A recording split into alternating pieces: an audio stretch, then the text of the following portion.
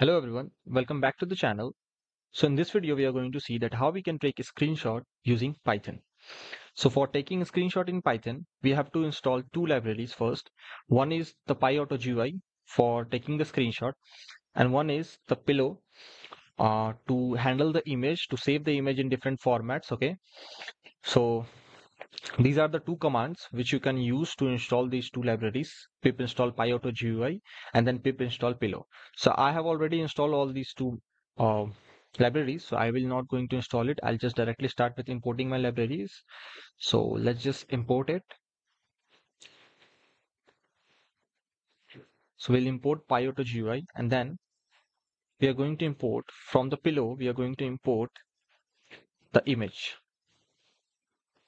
Okay, now we'll create an object and in that object, we are going to take our screenshot.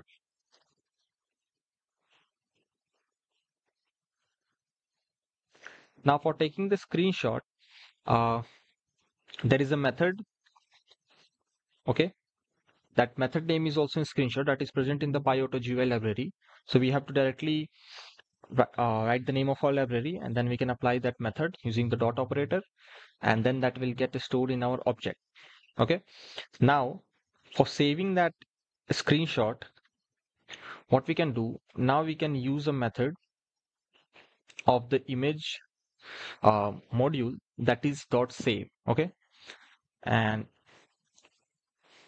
using a raw string we are going to save our uh, screenshot so I'll save our screenshot with a file name cl coding and the format will be .png. I'm going to save it in .png format.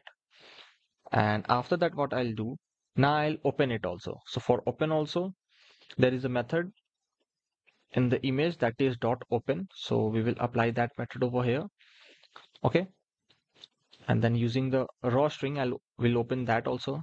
Now, what is the use of the raw string? We have seen in previous videos also. Now I'll explain it one more time that the, for the escape characters, suppose if you are writing backslash n inside the raw string so it will take backslash as a character and n also a character and if you write it in a normal string then it will take as a new line so that is the difference of using the raw strings okay so if you have to give the locations of your suppose the locations of your files or the images here so that you can give using this backslashes okay so for that it is used now, as we have already, uh, okay, here we have to apply the image, okay, because now this file has been saved. So when the save function will be executed, so file will already get saved. So now for opening the image, so we have to apply the image here, okay? So image dot open, and let's just do what?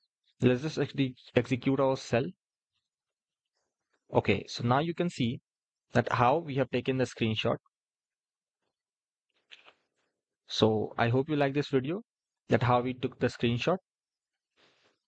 So thanks for watching the video. We'll see you in the next video.